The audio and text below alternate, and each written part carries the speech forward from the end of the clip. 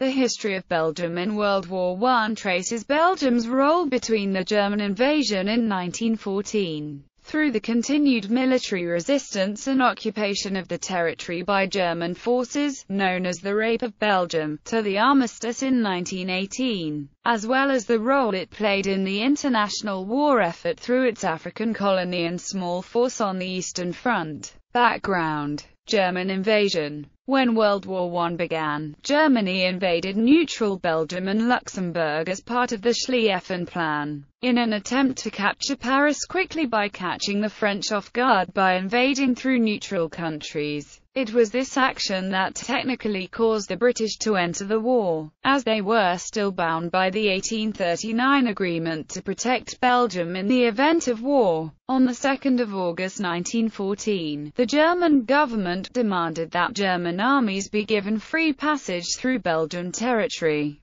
although this was refused by the Belgian government on 3 August. On 4 August, German troops invaded Belgium. It is widely claimed that the Belgian army's resistance during the early days of the war, with the army, around a tenth the size of the German army, holding up the German offensive for nearly a month gave the French and British forces time to prepare for the Marne counter-offensive later in the year. In fact, the German advance on Paris was almost exactly on schedule. The German invaders treated any resistance, such as demolition of bridges and rail lines, as illegal and subversive shooting the offenders and burning buildings in retaliation. Flanders was the main base of the British Army and it saw some of the greatest loss of life on both sides of the Western Front. German occupation 1914-18 The Germans governed the occupied areas of Belgium while a small area around Ypres remained under Belgian control. An occupation authority, known as the General Government,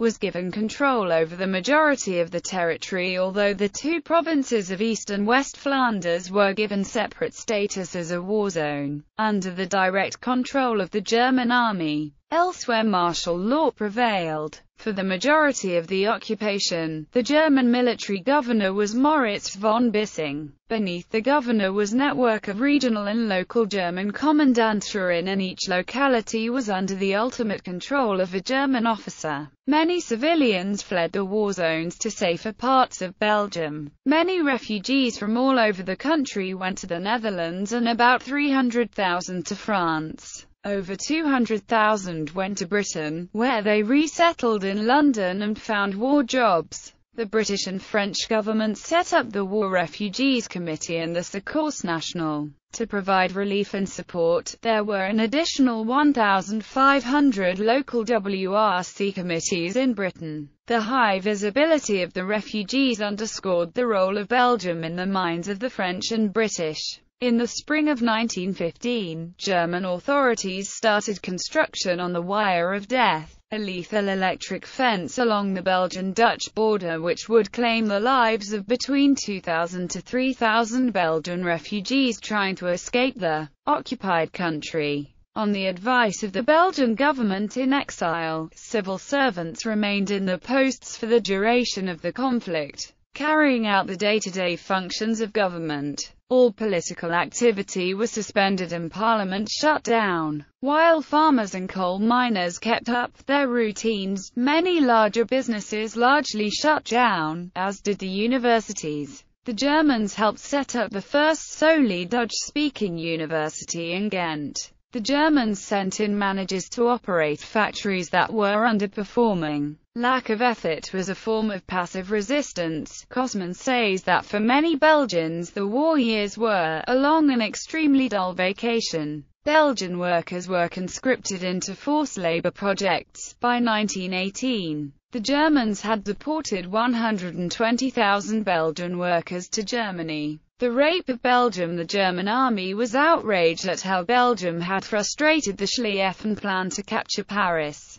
From top to bottom there was a firm belief that the Belgians had unleashed illegal saboteurs and that civilians had tortured and maltreated German soldiers. The response was a series of multiple large-scale attacks on civilians and the destruction of historic buildings and cultural centers. The German army executed between 5,500 and 6,500 French and Belgian civilians between August and November 1914, usually in near-random large-scale shootings of civilians ordered by junior German officers. Individuals suspected of partisan activities were summarily shot. Historians researching German army records have discovered 101 major incidents where 10 or more civilians were killed, with a total of 4,421 executed. Historians have also discovered 383 minor incidents that led to the deaths of another 1,100 Belgians. Almost all were claimed by Germany to be responses to guerrilla attacks. In addition some high-profile Belgian figures, including politician Adolf Max and historian Henri Pirenne, were imprisoned in Germany as hostages.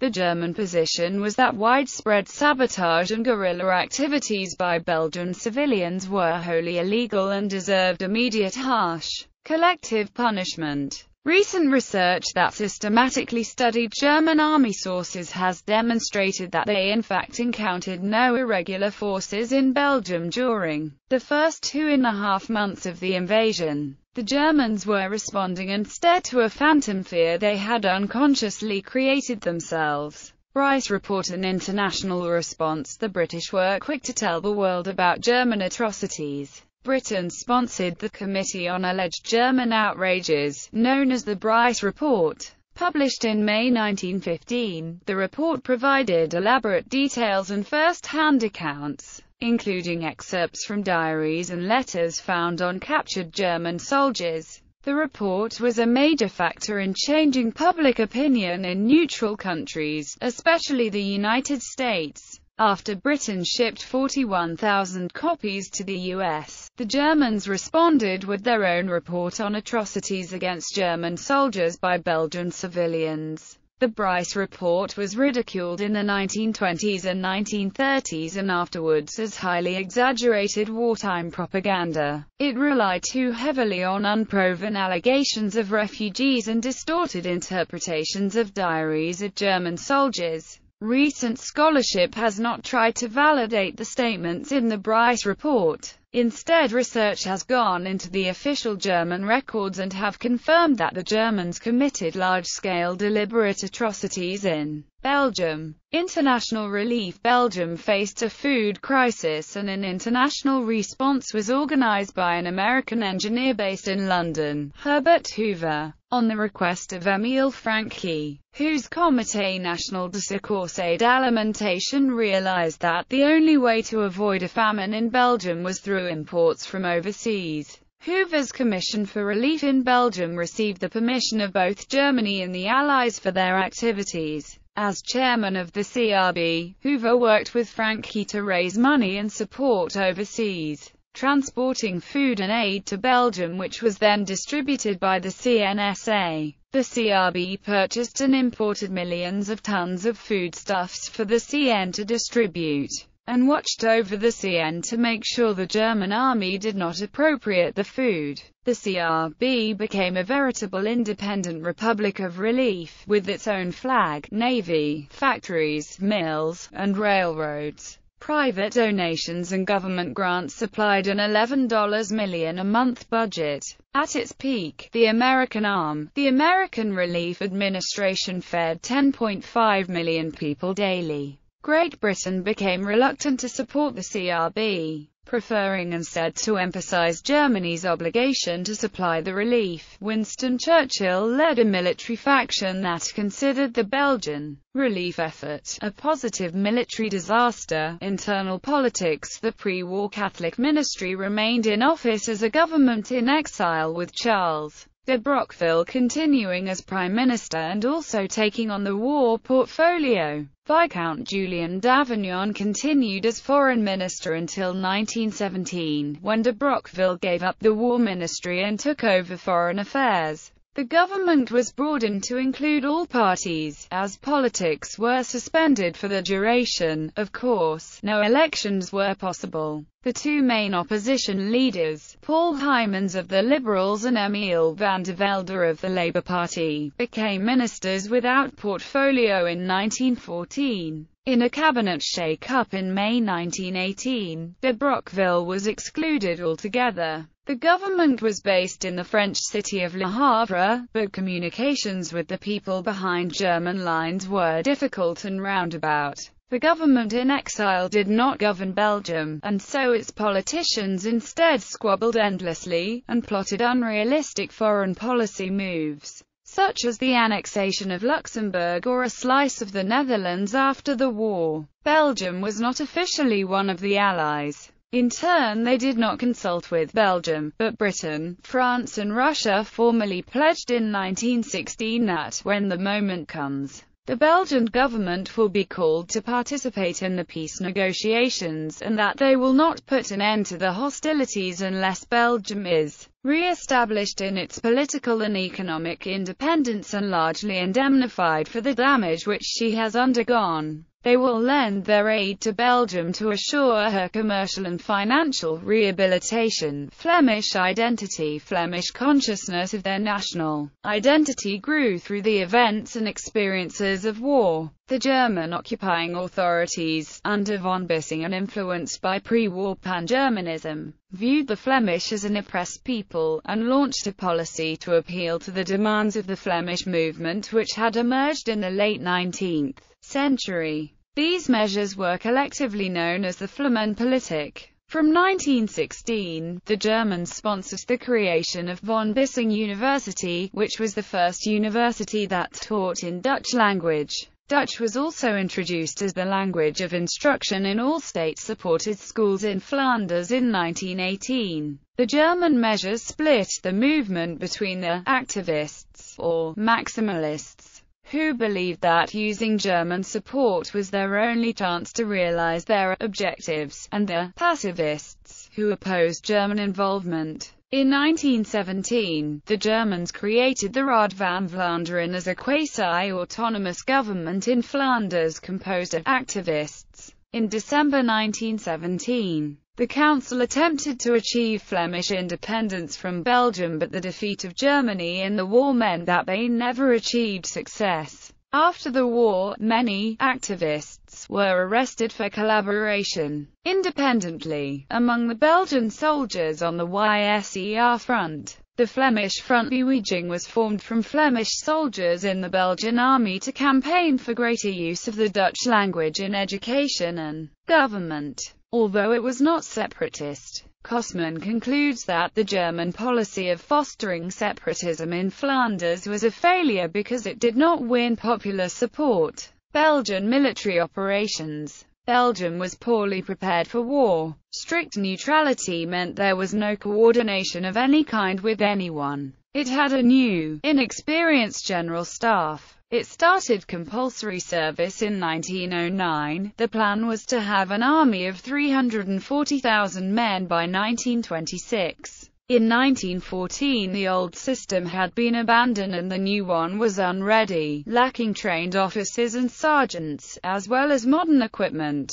The army had 102 machine guns and no heavy artillery. The strategy was to concentrate near Brussels and delay a German invasion as long as possible, a strategy that in the event proved highly effective as it disrupted the German timetable. For example, the German timetable required the capture of the railway center of Liege in two days, it took 11. Much of the small army was captured early on as the frontier forts surrendered. In late 1914 the king had only 60,000 soldiers left. During the war a few young men volunteered to serve, so by 1918 the total force had returned to 170,000. That was far too few to launch a major offensive. The Germans had nothing to gain from an attack. So the short Belgian front was an island of relative calm as gigantic battles raged elsewhere on the Western Front. The total of Belgian soldiers killed came to about 2.0% of its eligible young men. YSER front King Albert I stayed in the YSER as commander of the military to lead the army while the Belgian government, under Charles de Broqueville withdrew to Le Havre in France.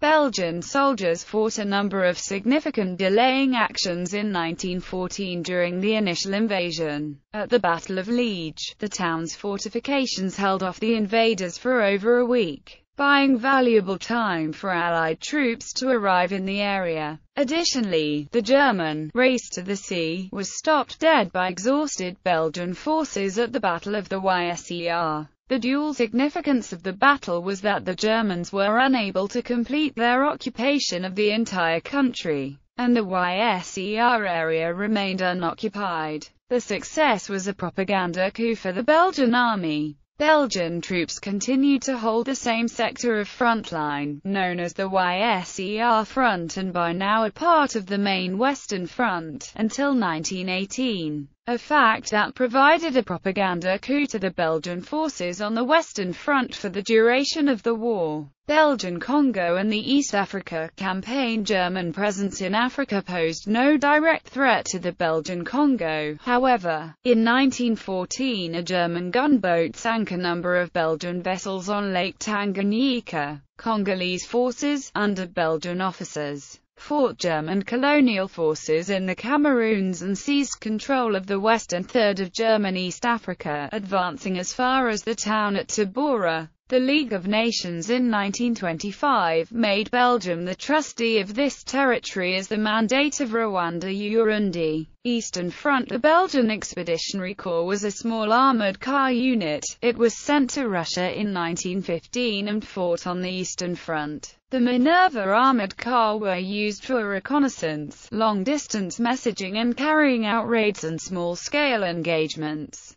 16 Belgians were killed in action. Aftermath Post-war settlements King Albert I went to the Paris Peace Conference in April 1919, where he met with the Big Four and the other leaders of France, Italy, Britain and the United States. He had four strategic goals. 1. To restore and expand the Belgian economy using cash reparations from Germany, 2. To assure Belgium's security by the creation of a new buffer state on the left bank of the Rhine, 3. To revise the obsolete Treaty of 1839, and 4. To promote a rapprochement between Belgium and the Grand Duchy of Luxembourg. He strongly advised against a harsh punitive treaty against Germany that would eventually provoke German revenge. He also considered that the dethronement of the princes of Central Europe and, in particular, the dissolution of the Habsburg Empire would constitute a serious menace to peace and stability on the continent.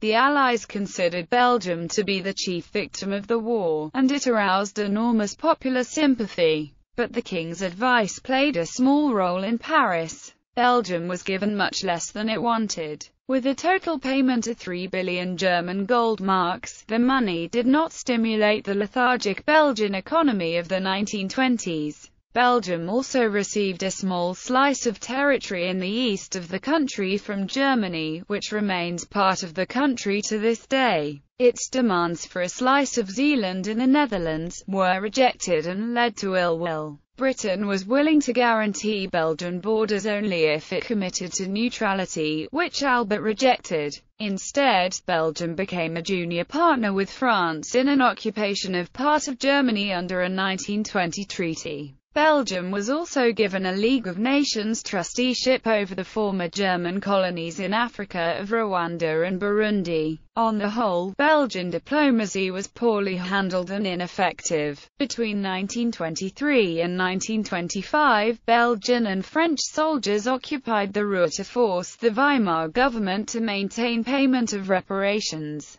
commemoration due to the hundreds of thousands of British and Canadian casualties. The blood-red red poppies that sprang up in no man's land when fields were torn up by artillery were immortalized in the 1915 poem In Flanders, Fields, in the British Empire and America. Poppies became a symbol of human life lost in war and were adopted by the adopted as an emblem of remembrance from 1921. The suffering of Flanders is still remembered by Flemish organizations during the yearly YSER pilgrimage in wake of the YSER in Dixmude at the monument of the YSER Tower. British veterans and civilians in the 1920s created a shrine of sacrifice in Belgium. The city of Ypres was made the symbol of all Britain was fighting for and was given an almost sacred aura. The Ypres League transformed the horrors of trench warfare into a spiritual quest in which British and Imperial troops were purified by their sacrifice.